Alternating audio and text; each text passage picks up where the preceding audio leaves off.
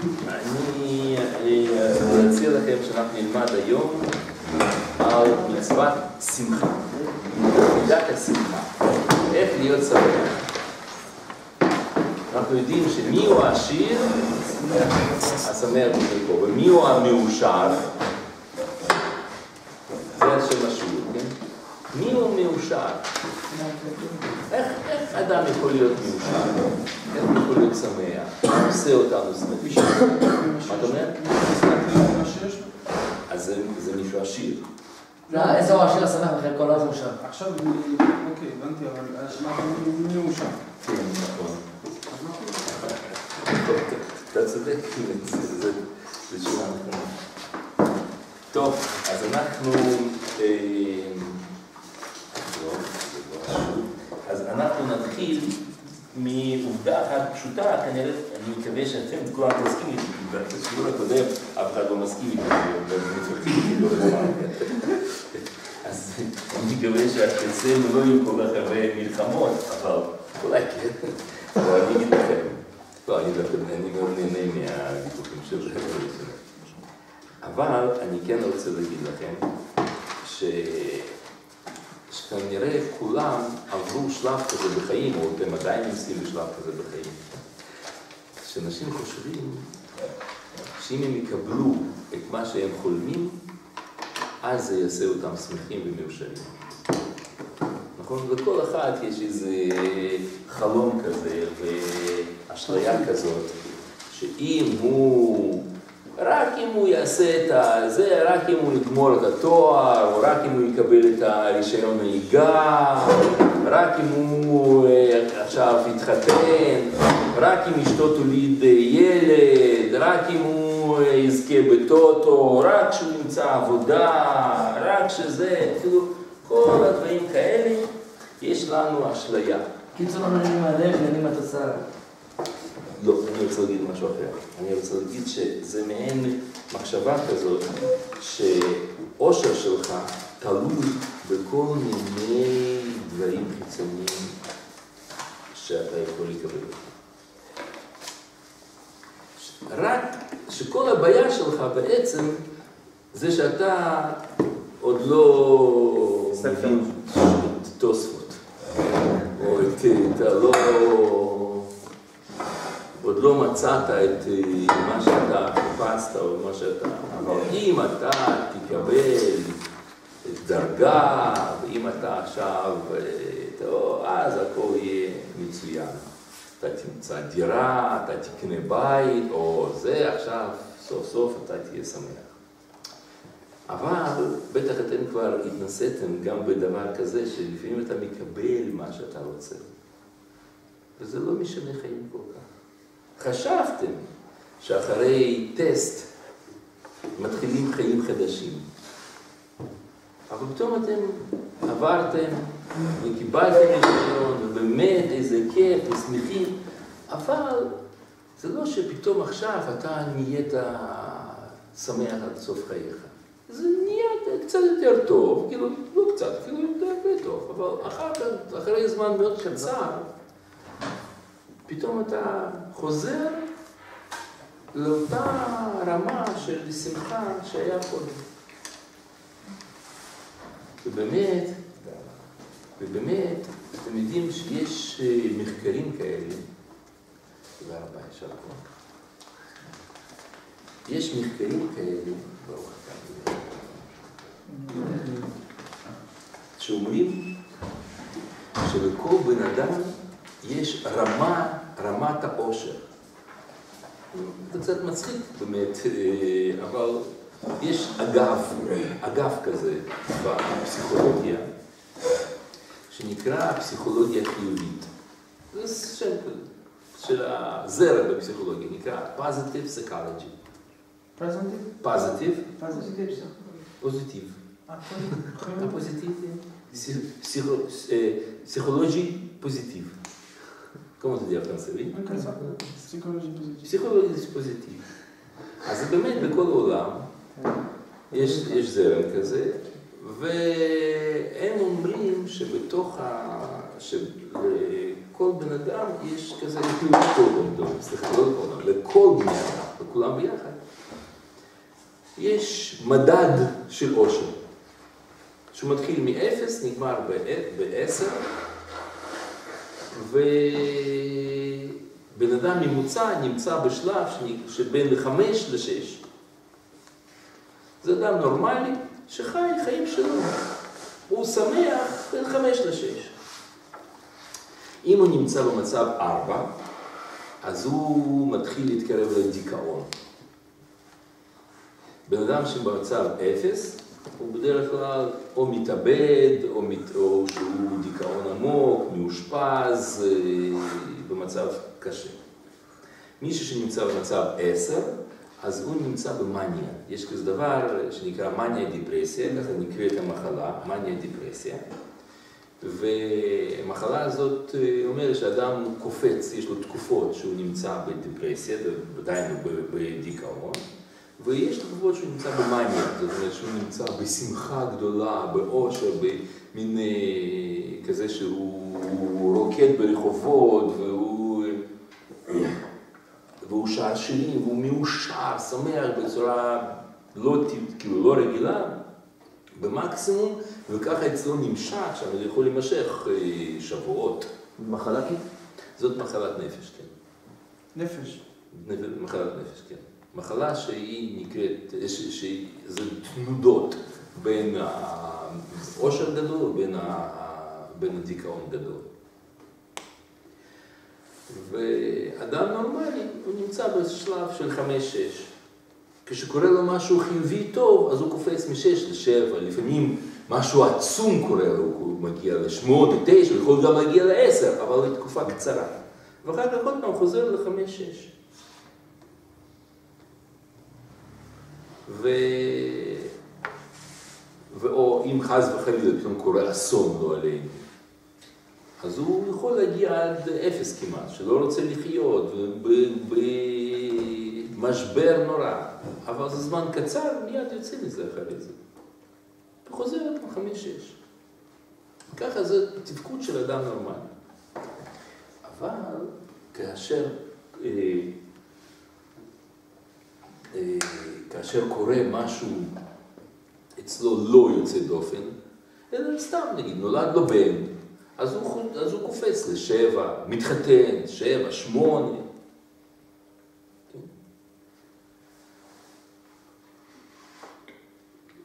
והם בדקו דווקא אותם אנשים שהם הגיעו לשיא של עשר בכל מיני מצבים. למשל, אחד הדברים שאדם יכול פתאום להגיע לשיגעון של, של שמחה, כמעט, כן? במצב עשר, כשהוא זוכה בפיס. פתאום ביום אחד הראלה מתקשרת ואומרת שאתה נהיית מיליונר, יש לך עכשיו 50 מיליון דולר, לא יודע, שקל, לא יודע מה, אני לא יודע. אדם במקרה כזה יכול להשתגע מאושר. עכשיו, כמה זמן הוא נשאר בשמחה הזאת? האם הוא עכשיו, מעכשיו והלאה כל החיים שלו מסודרים, והוא עכשיו יהיה, זהו, לא צריך לעבוד, כל החיים שם ישכב שם בארסל, והביאו לו שם קוקטיילים, ותוכי יושב פה, היה פעם פרסום לטוטו. אם תשחק בטוטו, שם היה, ואז אתה תשכב בארסל בין שתי התמרים כאלה ככה, ועל שפת הים, ויהיה כיף, ואתה, זה החלום של כל ה... של כל ה... של הרבה אנשים נגיד. אז הם התחילו לבדוק אנשים שאכן הגיעו למדרגה הזאת. ובדקו, בדקו, בדקו, והם רואים שזה באמת לא מחזיק מעמד. אחרי תקופה מסוימת, אדם חוזר לחמש-שש, כמו שהיה לו לפני שהוא נהיה. זאת אומרת, זה יכול למשל קצת יותר זמן, חצי שנה אולי. אני לא זוכר בדיוק כמה, צריך להסתכל על זה, אבל בערך. זה לוקח כמה חודשים, ואותם הבעיות ואותם הדאגות, ואם הוא היה בהתחלה בדיכאון, היה במצב ש, שחיים רעים והוא נמצא בשלוש-ארבע נגיד, אז גם אחרי שהוא זכה בטוטו ונהיה מיליונר גדול והוא כזה ולא צריך לעבוד לא הוא ולא ילדים שלו וכל האחים שלו ונותן לכולם מתנות, אה, מכוניות, אה, עם כל זה אחרי תקופה קצרה יחסית, הוא יחזור לדיכאון שהיה קודם. זאת אומרת, עושר לא תלוי בגורם חיצוני. אני רוצה להראות לכם את המחקר הזה. אני צילמתי לכם את הקטע מהמחקר. המחקר הזה מופיע בספר של טל בן שחר, שהוא אה, יהודי ישראלי. שהיה בין המובילים בתחום הזה של פסיכולוגיה החיובית בארצות הברית, והוא שם אה, היה באוניברסיטת הרווארד, הוא היה מלמד והיה אה, פרופסור הכי פופולרי בכל היסטוריה של אוניברסיטת הרווארד, בתחום שלו. הוא לימד שם על עושר. וספר שלו נקרא Happier. להיות יותר אה, מאושר ממה שאתה כעת. והנה הוא כותב כאן. פסיכולוגיסט פיליפ בריקמן והצוות העובדים שלו, הם הראו את הרעיון הזה על הרמה של, של עושר על ידי אנשים שזכו בטוטו. אחרי תקופה קצרה מאוד, בערך כחודש, אנשים שזכו בטוטו חוזרים לאותו, לאותה רמה של שמחה, של עושר, שהיה להם לפני שהם זכו. אני אמרתי לכם חצי שנה, אז אני טעיתי. חודש. לנו זה נראה לא, לא כל כך אה, סביר, נכון? אתה אומר, אם אני הייתי זוכר אותו וואו, וואו, וואו, לא אכפת לי שום דבר, הייתי שם קונה, הולך, נוסע, טס, קונה, אוי, אני לא הייתי מסתפק, כאילו, אני, לא, עליי זה לא היה עובד. ויכול להיות שבאמת עליך אישי זה לא היה עובד, יכול להיות. אבל הם עשו את זה מחקר, וזה פיליפ בליקמן וצוות הפסיכולוגים לא אומר סתם, כי בפסיכולוגיה אמר, אמר, אז לא אמר, אני אומר אחרת, אתה צריך להוכיח דבריך, אתה צריך להביא נתונים, אתה צריך להביא רשימה ארוכה, איזה שאלות אתה שאלת, איך הגעת לזה שהוא תוך חודש גומר, כמה אנשים ראיינת, כמה זה, זה, זה מאוד לא פשוט, נגיד בעולם האקדמי, אמירה שכזאת. אז יכול להיות שאתה אישית לא ככה, אבל רוב האנשים שזכו בטוטו חוזרים לאותה רמה שהיו לפני שהם זכו. למי שזה מעניין, למי שקצת מבין אנגלית, אז, אז, אז תשימו לב לשורה שלישית, אומר ככה, with a short period, as a month, lottery winners return to, this, to their base level of well-being if they were unhappy before winning, they will remain so. אם אלה ש... שהיו לא מאושרים לפני שהם זכו בלוטו, הם יחזרו להיות לא מאושרים.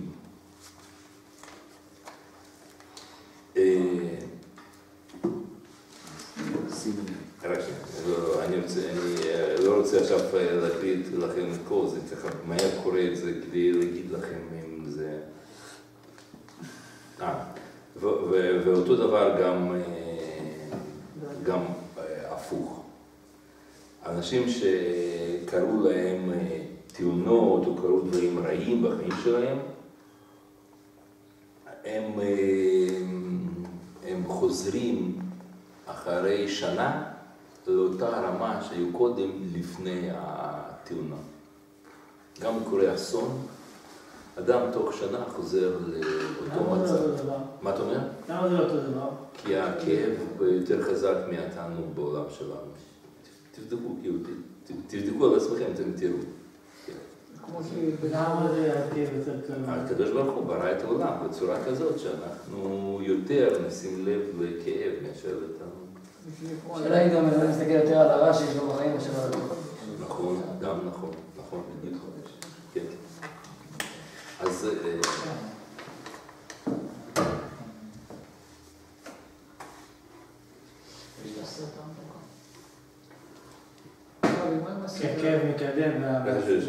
לא. טוב, פה הוא, אה, מפרט, הוא אומר ש... שאנשים חושבים שהם, אה, אם הם יקבלו, יקבלו בית חדש, או כך וככה וככה וככה, זה יעשה אותם מאושרים, וזה לא. טוב, זהו. מי שרוצה לשאול משהו, להגיד משהו? טוב, אז אנחנו ממשיכים, כן? הבנתם את העיקרון. הבנתם את, ה, את הרעיון שעומד מאחורי זה. אז אם כך.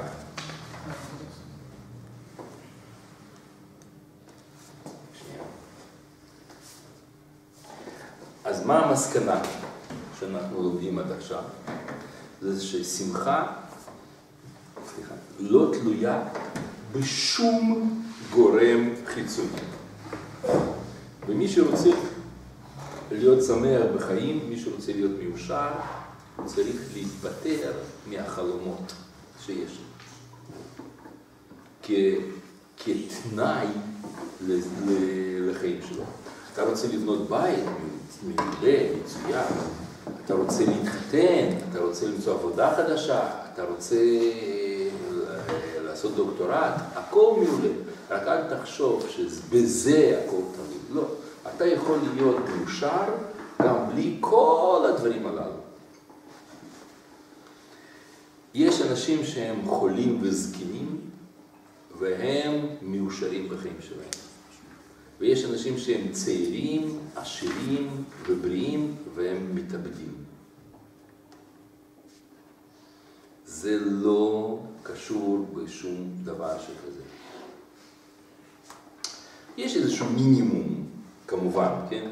אנחנו מדברים על מקרים אקסטרימליים, אבל אדם רגיל, נורמלי, כמונו, יש איזשהו מינימום שמאפשר לו לחיות אה, רגיל, כן? צריך שיהיה קצת כסף, כזה, כאילו, דברים בסיסיים. אבל, אה, אבל לא, לא משהו שהוא מעבר- הרבה מעבר לזה. כן, בבקשה. סליחה, לפני רגע אמרת משפט, שכדי להיות אושר צריך אה, להיות מנותק מהחלומות, נכון? כן, שזה לא, שלא, אז- לא אז- מזה יבוא. צריכים להיות ב- במצוי ולא ברצוי. כן. אז, אבל אני הבנתי בחיים שגם החלומות, נותן לנו כוח להמשיך נכון, ולהתקדם. נכון, אבל זה לא... אז אם אני, כאילו, אם אני פועל במה שאתה אמרת, אני... איך אני מאושר אם אני הפסדתי את הכוחות חיים שלי? זהו, אני, רוצה להסביר לכם. זה... אה, מה שיש לנו חלומות זה דבר טוב וחיובי. וטוב שיהיו לכם חלומות. רק אל תחשבו שבהתגשמות החלומות תלוי אם אתם תהיו מאושרים או לא.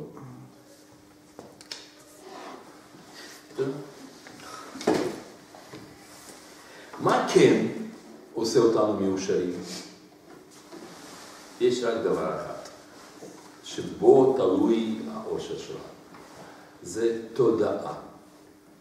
תודעה של האדם. כשהוא מבין משהו, אז זה יכול לעשות אותו מאושר, או להפך. זה יכול לעשות אותו אה, מסכן מאוד. תודעה. תודה. תודעה, קליטה שלך, כאילו הבנה, איך אתה מבין מה שקורה. פרסי- אה, פרספציון. מכיר- אתה יודע צרפתית? אה, כמו אתה יודע? פרספציון. פרספציון. bien sûr. נכון? אתם מכירים את זה? נכון, נכון? כמו הכוונה שכאילו מישהו רוצה לנקום במישהו, אבל אם הייתה לו הבנה שלא יועיל לו, אז... אה, מה זאת אומרת? אני לא הבנתי. שהכל תלוי איך אתה קולט מה, ש... מה שקורה לך. לא מה שקורה לך, אלא איך שאתה קולט מה שקורה לך. אה,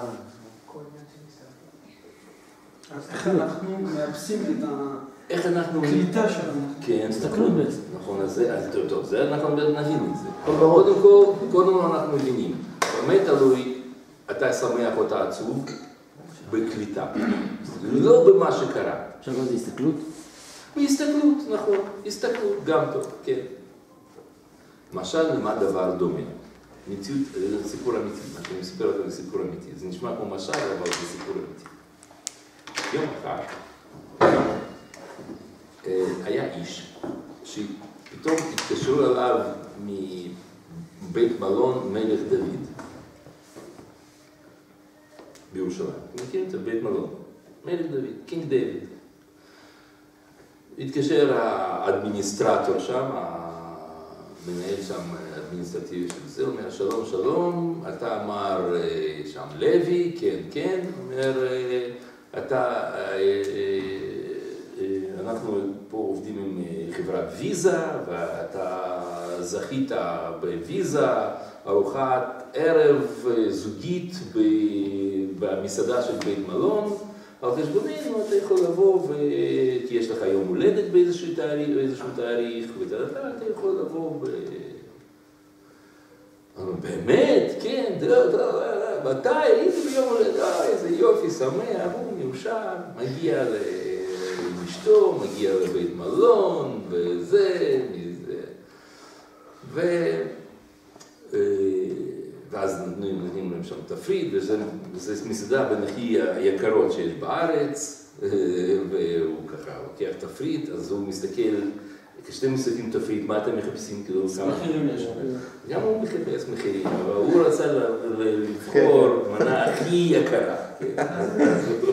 לא, לא כמה, לא אם זה טעים לו, לא טעים, דג, הוא מבושל, או אפוי, אבל גחלים, אש, לא, לא, הוא רצה הכי יקר.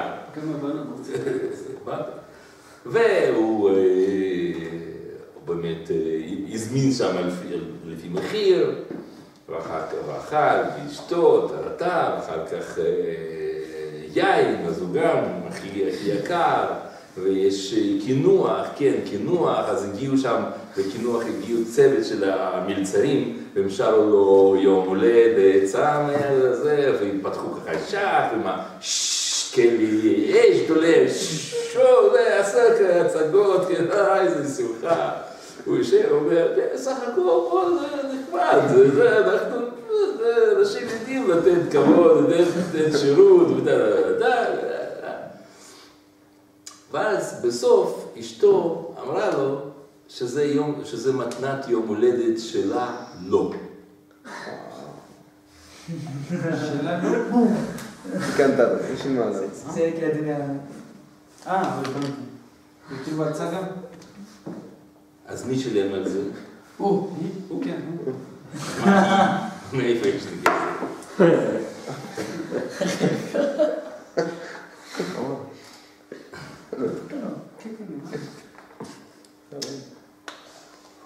לפני רגע הוא היה מאושר, עכשיו הוא מסכן, מה השתנה? הבנה הוא. עבד. כן, רק כוונה, נכון, בדיוק, רק כוונה. לכן, מה שאנחנו מבינים, שזה, אה, שזה עניין של, של קליטה. איך אתה קולט. לכן חז"ל אומרים לנו שמצוות שמחה זה דבר שהוא לא רגש. אם זה רגש, איך אפשר לצוות לרגש? פתאום אדם אה, שמח, כיף לו וזה וזה, באים אומרים לו, תשמע, עכשיו זה תשעה באב, או היום זה מי שנכנס אב, ממעטים בשמחה. אבל מה, אני כל כך... או להפך, הוא פיטרו אותו מהעבודה, והוא לא יודע מה לעשות. נכנס אדר, מרבים בשמחה. איך אפשר? אתה לא, אדם לא יכול לצוות על רגש, אז איך תורה מצווה? באמת אי אפשר לצפות. ושמחת בחגיך והיית אך שמח. למה קרה? כאילו, יכול להיות שקרה לו אסון, חס וחלילה לא עלינו, אסון. ואונייה שלו טבעה בים שם, אונייה עכשיו חייב לכולם מיליונים, וזה, זה, אז אומרים, או, הנה יופי, עכשיו, עכשיו סוכות, סוכות, חג סוכות, חג סוכות, וכולם, מה אתה מדבר? אני עכשיו כל החיים שלי אהיה בחובות, וזה, זה, איך, איזה... אבל זה מה שהתורה אומרת לנו. סימן שהיא, תורה, מתייחסת לשמחה לא כרגש, אלא שמחה זה השקפת עולם. שאתה יכול לשנות את ההשקפה, ואז הרגש יבוא. יהיה פועל יוצא מהמחשבה שלך, יהיה פועל יוצא שאתה גם תרגיש שמחה, לא תרגיש שמחה, אבל מקור של הרגש שלך, הוא יהיה בראש. כן, בבקשה.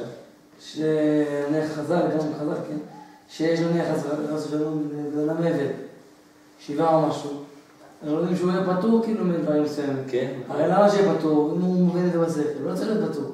תבין בשכל ואל תהיה עצוב. כן, נכון, נכון. אבל יש דברים כאלה שכנראה אנחנו... הרי יש מתגבר. לא, אין אפשרות. זה, זה בגלל ש... זה, זה לא בגלל שאתה... אה, הוא פטור לא בגלל שהוא עצוב, אלא בגלל ש... כבוד הארץ? לא, לא, אני אסביר לך. לא. גם, גם, יש דברים המת, כן, אבל לא זה. אני אסביר לך. למה אדם אה, דורשים ממנו כל מיני דברים, או להפך, הוא פטור מכל מיני דברים בזמן הזה? לא בגלל שהוא עצוב ולא יכול להתגבר על זה. אלא בגלל שהוא נמצא במצב כזה שזה קשה לדרוש ממנו להגיע להבנות כל כך עמוקות. אז לא... אז, אז פותרים אותו. אולי אתן לכם אה, דוגמה, כן בבקשה. אני פגשתי הרבה נחמן, כאילו, אנשים שמחוברים לשיטת נחמן וזה, והם אומרים לי תמיד צריך להיות בשמחה בשמחה, ופעם שאלתי להם, מה, מה זה להיות שמח, כאילו, מה ה... ההגדרה. ההגדרה האמיתית מבחינת תורתית, כאילו, של השמחה. מה זה, זה כן, לצחוק, נכון. לצחוק, נו, נו, נו, לצחוק. מה הוא אמר לך? באמת, הר- הרבה פעמים, הם כאילו, הם לא ענו לי בדיוק. אז בוא אני אגיד לך, אני- לא אני גם ברסלב, אני גם, אה, אה, ברסלב, גם חב"ד, גם אה, רב אני כלולי, כן, אני שייך לכלולי. אז אני בתור ברסלב, אני אענה לך תשובה.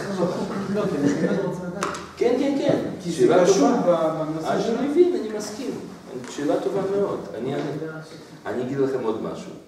זאת אומרת, זו שאלה טובה, וזו שאלה מרכזית אולי אפילו של, כל הרעיון הזה. מה פירוש שמחה? מה זאת אומרת שמחה? הרי אם אנחנו חושבים שאדם צריך להיות כל הזמן לחייך ולרקוד ולשיר ולהיות כזה, להיות כזה במצב כזה, אז לא ייתכן שתורה, שרבי נחמן, הוא היה גאון, שהוא יגיד משפט כזה, מצווה גדולה להיות בשמחה תמיד.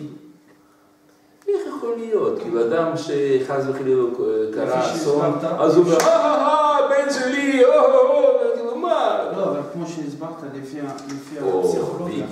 אי אפשר כאילו להיות במצב של כן, חלת- תמיד. יש. רמות. כן, בדיוק. כן. רבי נחמן אומר שגם ב- בעבד צריך להיות בשמחה, לא נראה לי, הוא ברור שיש. להיות בשמחה תמיד. אז זה אומר תמיד, כמו תמיד. העונש. תמיד. שאלה מה זה שמחה, שאלה מה זה שמחה. להיות בשמחה. שאלה מה זה שמחה, מה זה שמחה, אבל מחייב. קודם שהעונש יש לנו הגדרה של יש שהוא לא לא. בדיוק את ההגדרה. נכון, נכון, נכון, נכון. נראה לי, עכשיו. נכון, נכון, נכון. אז אני אסביר לכם. הוא ודאי צדק רבי נחמן, ובאמת מצווה גדולה להיות בשמחה תמיד. אבל בשמחה תמיד זה לא נקרא עליזות, זה לא אותו דבר. אנשים חושבים ששמחה ועליזות זה אותו דבר, וזה לא. יש עליזות, שאתה רוקד וקופ- וקופץ ואתה שר, זה עליז. אבל שמחה זה הבנה, וזה עכשיו הגדרה שלך, דיפיסיון. דפיניציה. דיפיסיון. דפיניציה. דפיניציון. דפיניציה, זה הפוך. Definition. Definition, גם מה? כן. אקזוטמו. זה סוד בחיים. כן, נכון, אז הנה עכשיו אני אתן לך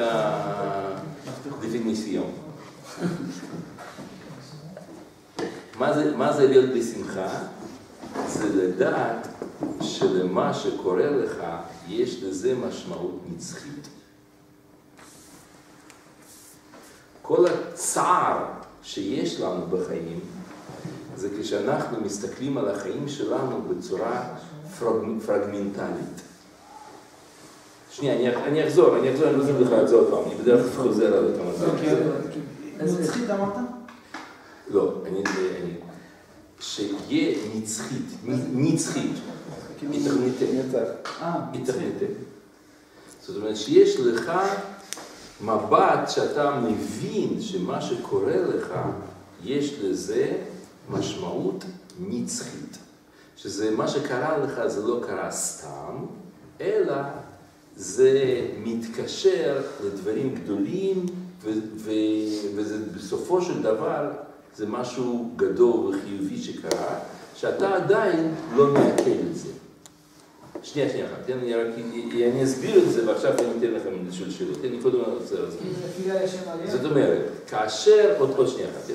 כאשר אה, כואב לנו, כאשר משהו קורה לא טוב וכואב לנו מזה, זה כיוון שאנחנו מסתכלים על זה במבט פרגמנטלי, מוגבל, קטעי. אובייקטיבי? לא, לא, לא, לא, פרגמנטלי זה קטעי, זה משהו ש... limited. לא קשור לכלום. כן, לא קשור לכלום. מה שקרה, קרה. אבל אם אתה מבין שזה מתקשר למשהו ויש לזה זה זה, אז פתאום מה שקרה, פתאום יהיה בסדר גמור.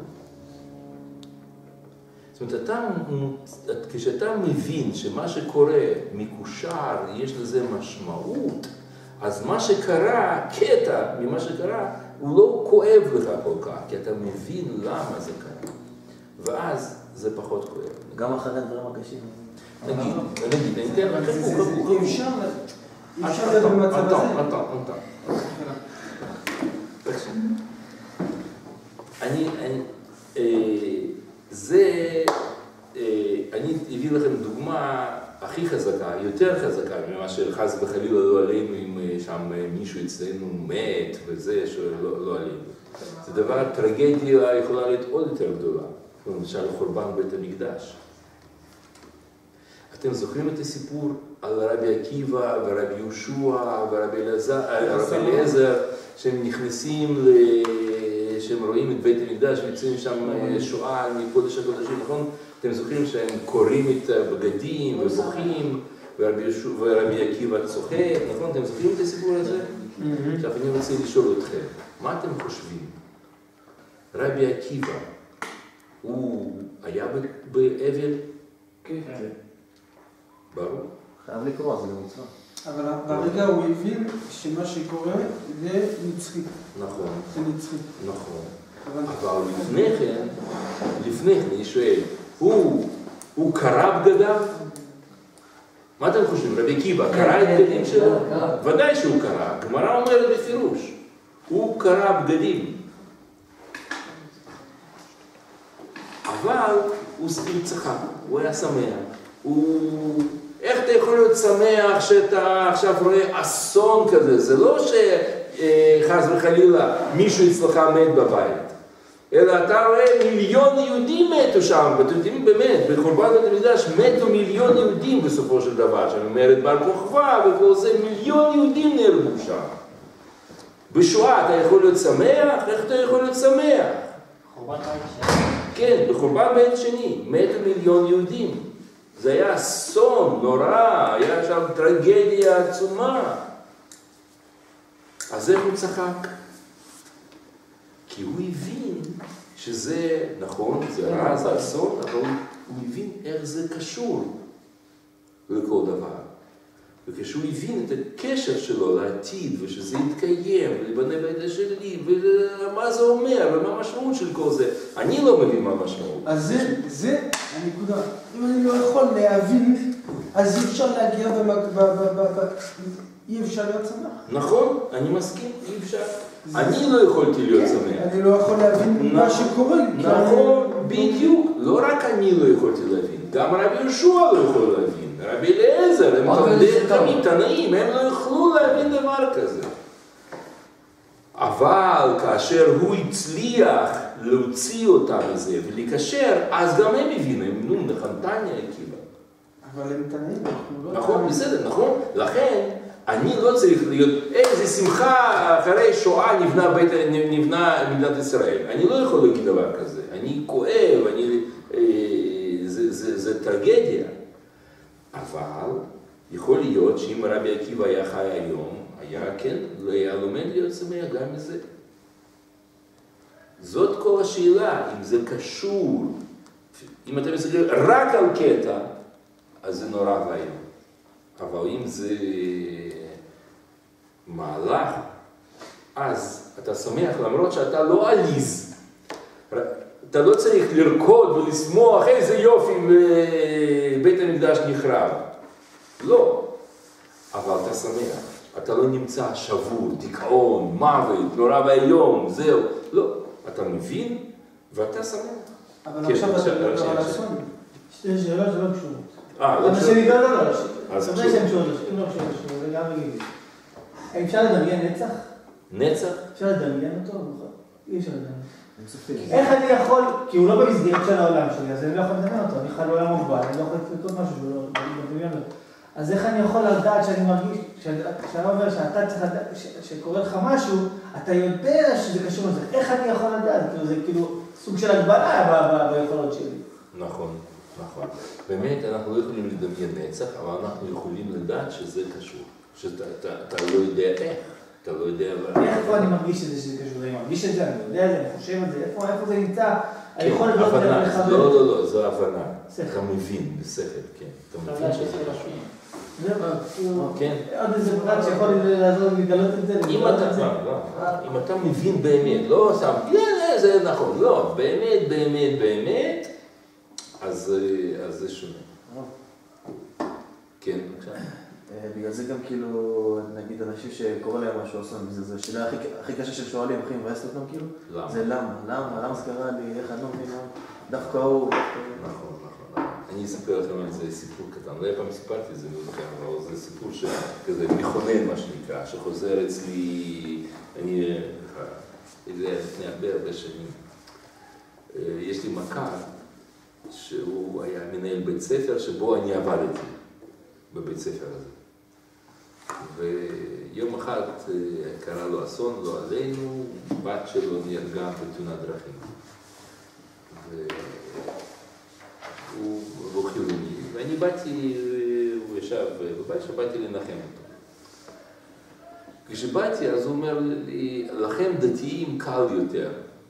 אתם מדמיינים לעצמכם שהיא לא מתה, יש לה נשמה, יש בגן עדן, היא עכשיו טוב לה, היא זה וזה, המצאתם לעצמכם שם אה, מערכת... אה, בדמיון, גם שהוא אומר את זה עכשיו. אתם המצאתם לכם מערכת אה, הרדמה אישית שלכם, לכן אתם, אה, לכם זה לא כל כך כואב, אבל אני יודע שזה סוף, שהיא לא יהיה, היא נעלמה, היא לא בשום מקום, היא עכשיו נרכבת בקבר באדמה. ולכן כואב לי יותר מכם. ואתם נמצאים במין אה, אילוזיה כזאת, אה, מין אה, אשליה כזאת, שאה, כן, הוא חי שם, יום אחד אני אפגוש אותו, יהיה תחיית המתים וכל זה. לכן אתם, אה, אתה לא יכול להבין אותי, הוא אומר לי. לא ידעתי. לא, הוא אומר לי, איך אתה- לא, הוא היה בשיבה. אז אמרתי לו... לא. כן. אז אמרתי לו שלא.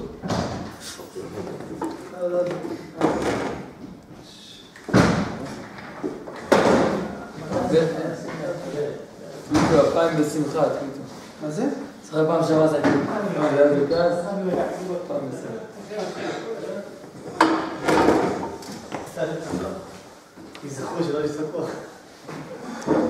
מה הבא? הדסה. ספורט. ארמי. אמ, אז אמרתי לו, אתה צודק שלדתיים יותר קל, להתמודד עם, מוות, אבל לא בגלל שאנחנו משלים את עצמנו, להפך, בגלל שאנחנו מבינים שלמוות ולמה שקרה לה, לבת שלך, יש משמעות. אנחנו לא יודעים למה ולא יודעים מהי משמעות, אבל מבינים שיש משמעות. זה לא סתם. לך, לך זה היום כל כך קשה, בגלל שאתה אומר, כמו שאתה אמרת, למה, למה, כן? זה במקרה הטוב אומר למה. אלא בגלל שאתה אומר, אין למה. זה חסר משמעות מה שקרה, ולכן זה כואב לך. איזה נחמה להגיד למישהו שיש לזה משמעות, אבל אני לא יודע מה המשמעות של זה. למה זה נחמה? אני לא יודע, להוכיח לך את הדבר הזה, אבל, אה, אבל אני, אני חושב ש, שגם אם אני לא יודע מה המשמעות, אבל אני יודע שיש, זה יותר קל. כן. מה זה סתם מעניין אותי? מה זה החז"ל אמרו? אין שמחה אלא בבשר ואין. נכון, ביטוי, ביטוי. נכון, נכון, נכון, שאלה טובה, זה ממש זה כאילו רגש. זה ממש ככה. אסון. סיטואציה לא. ספציפית על אסון, אז מאסון לא, אפשר לא, לעשות לא. לא, לא, אנחנו גם אוכלים בשר בשביל זה. חובה. רגילה, או טוב. או ניקח את. השמח בהחלט, אבל מה זה אומר איך אתה מקשר? אז אני אנסה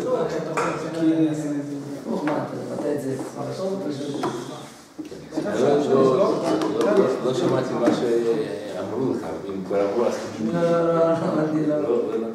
לא. אז אני, כן, אני... לעניות דעתי. האמת שלא אני יודע, ככה זה המפרשים מסבירים, שאין שמחה אלא בשר ויין, הכוונה היא בקורבנות בית המקדש. בשר זה בשר קורבנות, ויין זה יין נסח. בבית המקדש. זאת אומרת, שמחה אמיתית יכולה להיות רק כאשר יש בית המקדש קיים ומביאים קורבנות ו... ומנסחים יינות. אז זה נותן לך מבט, פרספקטיבה נכונה, אז אתה רואה את המציאות כפי שהיא. בהלכה אבל היום כאילו גם בשולחן ערוך גם כתוב, לא. כאילו היום. כן, כן. אז, אז זאת הכוונה, שאתה, שאתה יודע שמה שאתה בעצם אוכל ושותה זה הזבחים, ו... אז כאן, כאילו. כן, שזה, שאתה מכוון לשם. שהרבה פעמים כאילו שאומרים שמחת בית השואבה, כל הדברים האלה, כאילו. זה גם, זה לא, זה רק עניין של שכל, כאילו. כשאני מבין שבית המקדש קיים, אז זה השלמות, כאילו. זה, זה נביא יונה, הוא נהיה נביא בשמחת בית השואבה. ומה זאת אומרת? זה אומרים ששואבים מה? מה שואבים בשמחת בית השואבה? מים. מים. כמו שאריסטו בא... אה, תורה. חוכמה לקודש, רוח הקודש. רוח הקודש, בדיוק. הרע זה מה שכמו אריסטו ב... מה זה קודש? איזה אחד בא לנביא ירמיהו ואמר לו, למה אתה עליי אבנים?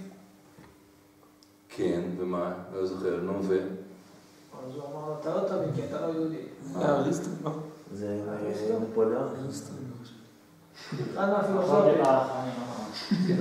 זה היה איזה... יכול להיות, יכול להיות. זה העיקר, זה, זה. זאת אומרת, כששואבים רוח הקודש, זה לא רוחות קודשים, רוח הקודש זה הבנה. כן? זה ההבנה העמוקה, זה נקראת רוח הקודש. אז ההבנה כן. של, של, כאילו, שזה בינה יותר... שזה קשור, כן. שאתה מקשר בין הדברים ואתה מבין מה זה נותן, מה זה עושה, ואז אתה, אז- זה בונה לך את ה... אז אם זה קרה לי, אני, היה לי, לא, לא לי, אני מדבר, זה יכול לקרות לכולם. כן, נכון, נכון. וכמה ש- כמה שבן ברמה יותר גבוהה, ככה הוא יותר מבין, ככה הוא פחות אה, אה, מושפע מזה. זה כואב לו, אבל הוא, מת, מתעלה. בישיבה בעצם זה מה שהוא עושה, הוא מתעלה להבנה הכוללת של... זה נקרא נחמה. אנחנו צריכים לעזור לבן אדם להתעלות למדרגה הזאת. טוב. אה,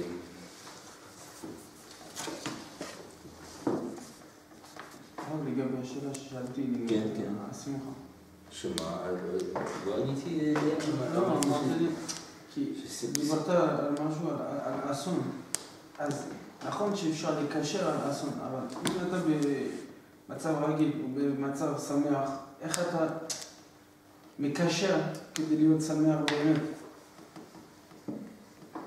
אתה אמרת שצריך לקשר בין דברים כדי להיות שמח באסון. לא, אני אומר, אפילו באסון, בחיי יום-יום, ודאי שזה, אתה, אתה אה, קורה לך משהו, יודע שמשהו כזה, אתה באס, באסון, אז אתה יכול להגיע לזה, אבל אם לא אסון, אז בקלות אתה יחסית יכול להתקשר בין הדברים. אתה לא מתרגש מדי, אתה, זה, בסדר, נכון, זה בטח אה, לטובה, הכל לטובה. מה זה לטובה? זה לא אומר שזה עכשיו טוב. הכל לטובה, זה אומר שעכשיו זה לא טוב. אבל אתה מקשר את זה לטובה, זה יגרום. שזה יגרום, שזה מופיע, אתה, אתה, אתה מבין משמעות של זה. כן, השמחה זה בעצם המצב הטבעי של אדם שהוא אמור להיות בו. כן, נכון, זה כאילו, כמו נגיד למשל תינוק, כן, שהוא נולד. כן, כן, כן, הנה, מה שאתה אומר, זה הרב קוק אומר, תסתכל, מקור שתיים. מקור שתיים, אומר הרב קוקה, כל שמחה נמשכת מחידוש המחשבה, ויסוד חידוש המחשבה הוא חידוש של תורה. אה, לא דווקא תורה. אני חושב שלא לא פסקה, יש משהו ששם הרב קוק ממש אומר במילים שלך, אבל בסדר, בוא נקרא ואחר כך נבין את הדברים האחרים. כי כל אשר תחת השמש אין בו קול חדש. ויש דבר אשר יאמר לך, ראה, זה חדש הוא. כבר היה לעולמים אשר היו מלפנינו. אמנם חידוש הרעיון שבקודש, בו יש חידוש עצמי תדיר, תדירי. וכל טוב והרעיון שבחידוש, כל מחשבה, כל מה שמשמח, כל מה שמשמח שמחה עדינה בכל החיים, נובע מצד קודש שבו. זאת אומרת, צריך להסביר את זה, זה עוד, עוד מימד נוסף של, של השמחה, וזה מימד של חידוש. זאת כל דבר ש, שפתאום יש משהו ש...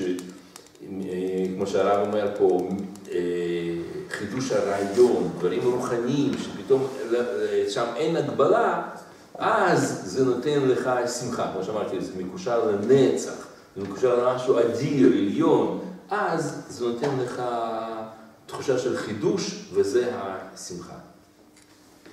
כאילו, במקום, כן, כן, אדם שקורא חידוש תורה, זה הכוונה? כן, זה, זה דוגמה של שמחה, כן. אבל זה. גם רגיל. זה גם מה? כאילו, לא... אבל אתה יודע שאתה מתקשר למשהו שהוא לא רגיל, שתורה היא נצחית.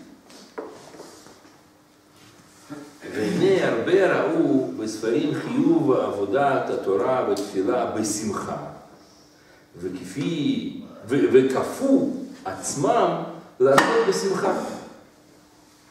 אבל לא ראו בשכלם להשתלם מעט מעט עד שתהיה ראויה עליהם השמחה, שמחה בתורה, בתפילה, בכל מיני עבודת השם יתברך.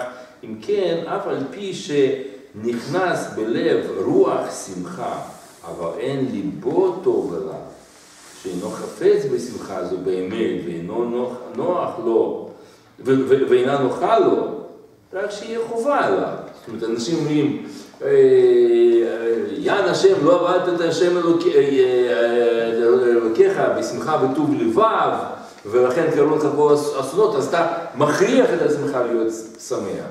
אז הרב אומר, זה לא יעזור, כי זה משהו מאולץ, אתה מכניס את עצמך בצורך להיות בשמחה, אבל באמת שמחה היא מבפנים. טוב. לא מבין מה זה כל ה... יש עניין של רגש, מה זה כל הריקודים בחתונה, כל העניין הזה. בואו בואו פשוט נסתכל בחתונה, נחשוב על החיים ונשמח. לא, אתה לא מבין, אתה מבין את זה באמת, ואז אתה שמח. אז מה- למה שהארגונים יעשו הביטוי? הביטוי של השמחה זה קפיצה. לא, זה כדי שהוא לא יחשוב. זה כדי שהוא לא יחשוב לכלום, כאילו בלחץ, ברגע של החתונה.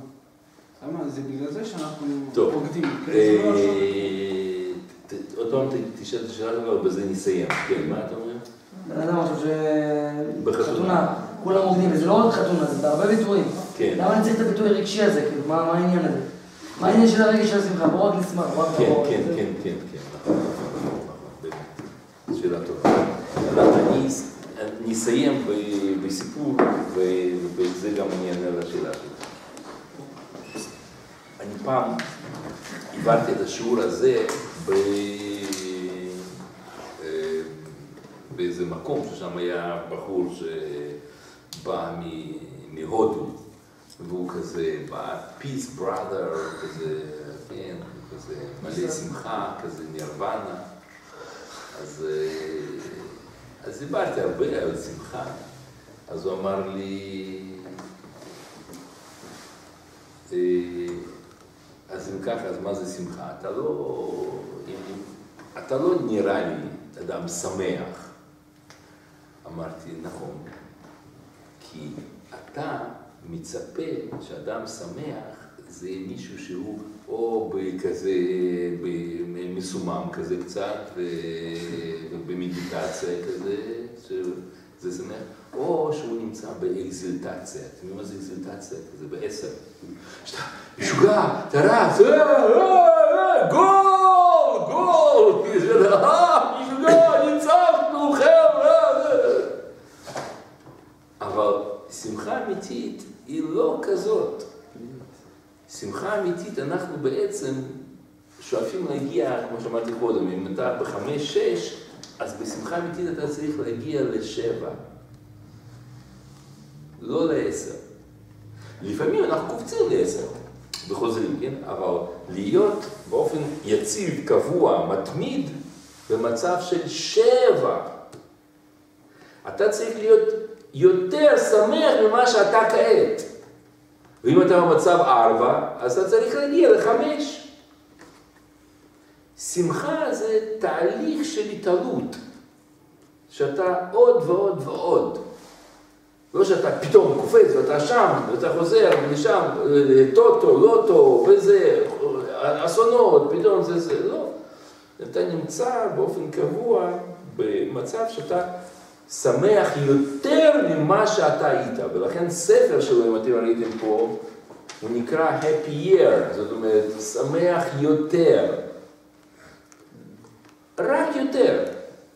לא צריך להיות ב... באקסטזות, נכון, מה שהוא אומר זה מתאים לפי בשמחה. מה אתה אומר? מה שהפרופסור הזה אומר זה מתאים לפי הדברים של התורה וכל זה. כן, כן, כן, זאת, זאת הכוונה. שאתה נמצא, לא... אבל הוא יהודי כנראה. ספג, ספג, כן.